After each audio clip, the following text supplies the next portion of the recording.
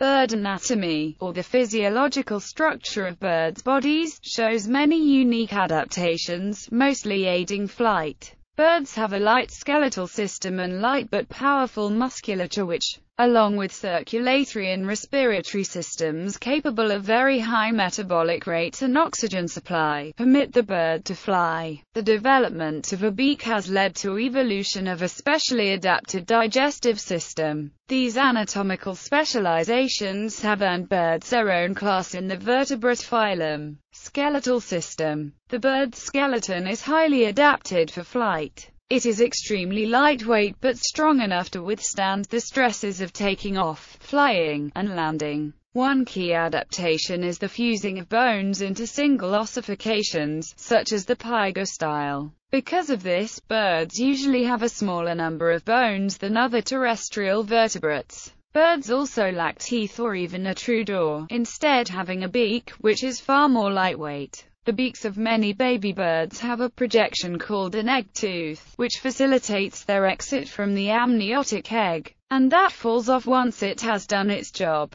Birds have many bones that are hollow with criss-crossing struts or trusses for structural strength. The number of hollow bones varies among species, though large gliding and soaring birds tend to have the most. Respiratory air sacs often form air pockets within the semi-hollow bones of the bird's skeleton. The bones of diving birds are often less hollow than those of non-diving species. Loons and puffins are without pneumatized bones entirely. Flightless birds, such as ostriches and emus, demonstrate osseous pneumaticity possessing pneumatized femurs and, in the case of the emu, pneumatized cervical vertebrae. Birds also have more cervical vertebrae than many other animals. Most have a highly flexible neck consisting of 13 to 25 vertebrae. Birds are the only vertebrates to have a fused collarbone or a keeled sternum or breastbone. The keel of the sternum serves as an attachment site for the muscles used for flight or, similarly, for swimming, in penguins.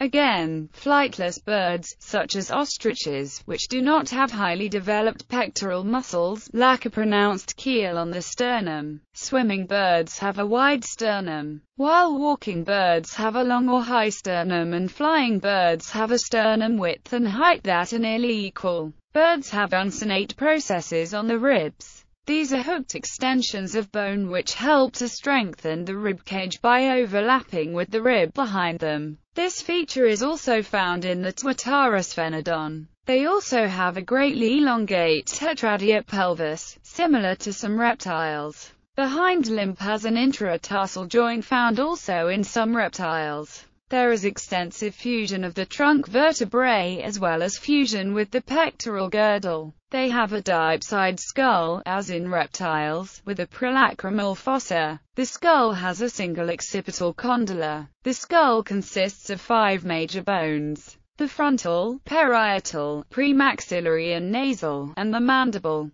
The skull of a normal bird usually weighs about 1% of the bird's total body weight. The eye occupies a considerable amount of the skull and is surrounded by a sclerotic eye ring, a ring of tiny bones. This characteristic is also seen in reptiles. The vertebral column consists of vertebrae, and is divided into three sections cervical, synsacrum, and pygostyle. The chest consists of the furcula and coracoid, which, together with the scapula, form the pectoral girdle. The side of the chest is formed by the ribs, which meet at the sternum. The shoulder consists of the scapula, coracoid, and humerus. The humerus joins the radius and ulna to form the elbow. The carpus and metacarpus form the wrist and hand of the bird, and the digits are fused together. The bones in the wing are extremely light so that the bird can fly more easily. The hips consist of the pelvis, which includes three major bones,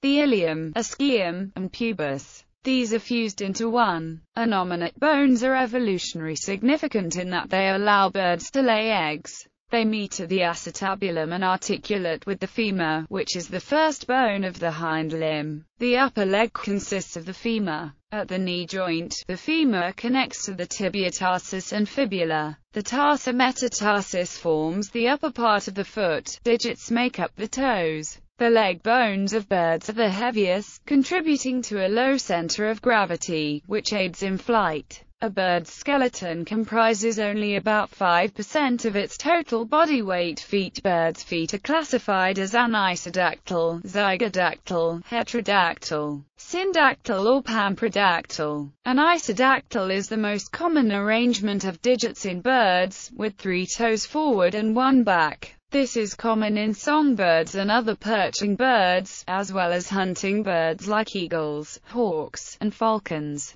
Syndactyly, as it occurs in birds, is like anisodactyly, except that the third and fourth toes, or three toes, are fused together, as in the belted kingfisher Ceryle alcyon. This is characteristic of coraciiforms. The zygodactyly is an arrangement of digits in birds, with two toes facing forward and two back. This arrangement is most common in arboreal species, particularly those that climb tree trunks or clamber through foliage. Zygodactyly occurs in the parrots, woodpeckers, cuckoos, and some owls. Zygodactyl tracks have been found dating to 120 to 110 ma, 50 million years before the first identified zygodactyl fossils. Heterodactyly is like zygodactyly, except that digits 3 and 4 point forward and digits 1 and 2 point back. This is found only in trogons, while pamprodactyl is an arrangement in which all four toes may point forward, or birds may rotate the outer two toes backward. It is a characteristic of swifts muscular system. Most birds have approximately 175 different muscles, mainly controlling the wings, skin, and legs. The largest muscles in the bird are the pectorals, or the breast muscles, which control the wings and make up about 15 to 25% of a flighted bird's body weight. They provide the powerful wing stroke essential for flight. The muscle medial to the pectorals is the supracoracoideus. It raises the wing between wing beats. Both muscle groups attach to the keel of the sternum. This is remarkable, because other vertebrates have the muscles to raise the upper limbs generally attached to areas on the back of the spine. The supracoracoideus and the pectorals together make up about 25 to 35% of the bird's full body weight. The skin muscles help a bird in its flight by adjusting the feathers, which are attached to the skin muscle and help the bird in its flight maneuvers. There are only a few muscles in the trunk and the tail, but they are very strong and are essential for the bird. The pygostyle controls all the movement in the tail and controls the feathers in the tail. This gives the tail a larger surface area which helps keep the bird in the air. Integumentary system Scales The scales of birds are composed of keratin, like beaks, claws, and spurs. They are found mainly on the toes and metatarsus, but may be found further up on the ankle in some birds. Most bird scales do not overlap significantly, except in the cases of kingfishers and woodpeckers. The scales and scutes of birds were originally thought to be homologous to those of reptiles and mammals. However, more recent research suggests that scales in birds re-evolved after the evolution of feathers. Bird embryos begin development with smooth skin. On the feet, the corneum, or outermost layer, of this skin may keratinize, thicken and form scales. These scales can be organized into cancella, minute scales which are really just a thickening and hardening of the skin, crisscrossed with shallow grooves. Scutella, scales that are not quite as large as scutes, such as those found on the caudal, or hind part, of the chicken metatarsus. Scutes, the largest scales, usually on the anterior surface of the metatarsus and dorsal surface of the toes. The rows of scutes on the anterior of the metatarsus can be called an acrometatarsium or acrotarsium. Reticula are located on the lateral and medial surfaces of the foot and were originally thought to be separate scales. However, histological and evolutionary developmental work in this area revealed that these structures lack beta-keratin and are entirely composed of alpha-keratin. This, along with their unique structure, has led to the suggestion that these are actually feather buds that were arrested early in development. Rhamphotheca and Podotheca The bills of many waders have herbst corpuscles which help them find prey hidden under wet sand. By detecting minute pressure differences in the water, all extant birds can move the parts of the upper jaw relative to the brain case.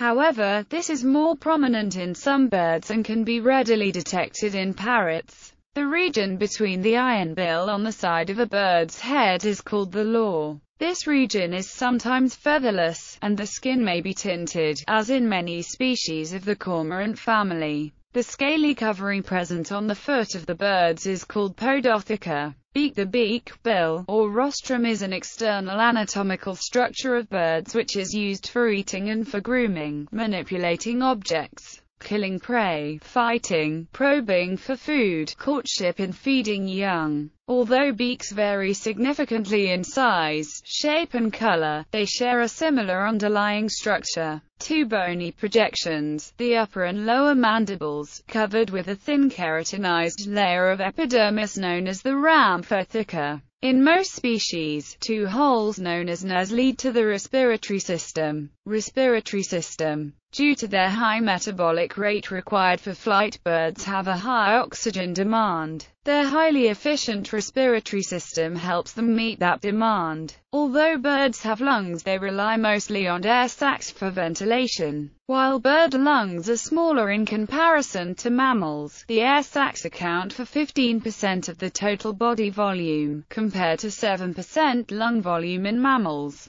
The walls of these sacs do not have a good blood supply and so do not play a direct role in gas exchange. They act like a series of bellows to move air unidirectionally through the respiratory system. Birds lack a diaphragm, so rather than the regular expansion and contraction of the respiratory organs as is seen in mammals, the air sacs allow the tract to maintain a fixed volume with oxygenated air constantly flowing in a single direction through them. The active phase of respiration in birds is exhalation, requiring muscular contraction. Three distinct sets of organs perform respiration, the anterior air sacs, the lungs, and the posterior air sacs. Typically there are nine air sacs within the system, however, that number can range between 7 and 12, depending on the species of bird. Passeriformes possess seven air sacs, as the clavicular air sacs may interconnect or be fused with the cranial thoracic sacs. During inhalation, air initially enters the bird through the nares where it is heated, humidified, and filtered.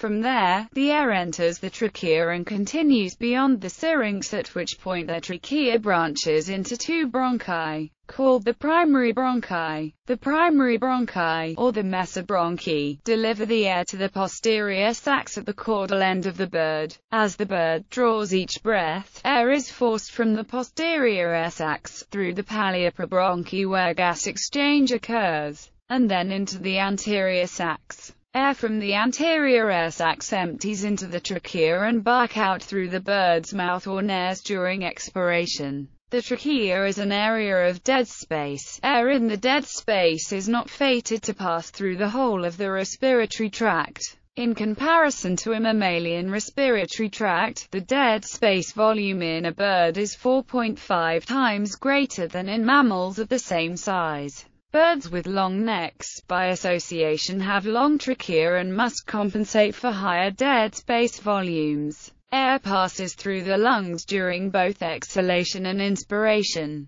causing little to no mixing of new oxygen-rich air and stale carbon dioxide-rich air as in mammalian lungs. Thus, the partial pressure of oxygen in a bird's respiratory tract is the same as the environment and so birds have more efficient gas exchange than mammals do. Avian lungs do not have alveoli as mammalian lungs do, but instead contain millions of tiny passages known as parabronchi, connected at both ends by the dorsobronchi and ventrobronchi. Air flows interiorly through the parallel, honeycombed walls of the parabronchi into air vesicles, called atria, which project radially through the parabronchi. These atria give rise to air capillaries, where oxygen and carbon dioxide are exchanged with cross-flowing blood capillaries by diffusion. All species of birds with the exception of the penguin, have neopulmonic parabronchi. These unorganized, unparalleled tubes project between the mesobronchus to the posterior saxon into the posterior secondary bronchi. Unlike the paleoprobronchi, air traveling through the neopulmonic bronchi travels bidirectionally, compared to the unidirectional flow through the parabronchi. The neopulmonic parabronchi never make up more than 25% of the gas exchange surface. The syrinx is the sound-producing vocal organ of birds, located at the base of a bird's trachea. As with the mammalian larynx, sound is produced by the vibration of air flowing across the organ. The syrinx enables some species of birds to produce extremely complex vocalizations, even mimicking human speech. In some songbirds, the syrinx can produce more than one sound at a time. Circulatory system Birds have a four-chambered heart, in common with humans, most mammals, and some reptiles. This adaptation allows for an efficient nutrient and oxygen transport throughout the body, providing birds with energy to fly and maintain high levels of activity. A ruby-throated hummingbird's heart beats up to 1200 times per minute. Digestive system. Many birds possess a muscular pouch along the esophagus called a crop. The crop functions to both soften food and regulate its flow through the system by storing it temporarily. The size and shape of the crop is quite variable among the birds. Members of the order Columbiformes, such as pigeons, produce a nutritious crop milk which is fed to their young by regurgitation. Birds possess a ventriculus, or gizzard,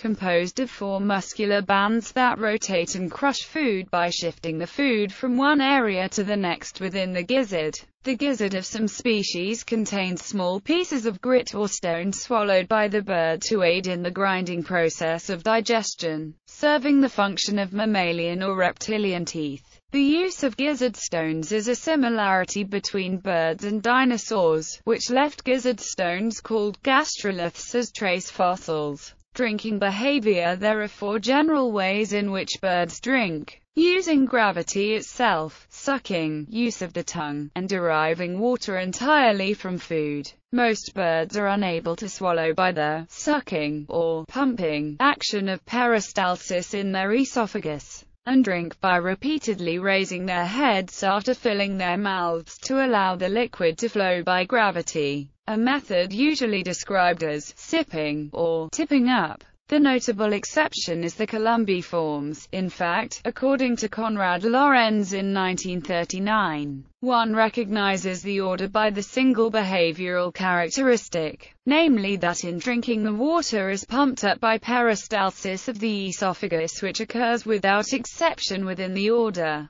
The only other group, however, which shows the same behavior, the Pteroclidae, is placed near the doves just by this doubtlessly very old characteristic. Although this general rule still stands, since that time, observations have been made of a few exceptions in both directions. In addition, specialized nectar feeders like sunbirds and hummingbirds drink by using protrusible grooved or trough-like tongues and parrots lap up water. Many seabirds have glands near the eyes that allow them to drink seawater. Excess salt is eliminated from the nostrils. Many desert birds get the water that they need entirely from their food. The elimination of nitrogenous waste as uric acid reduces the physiological demand for water.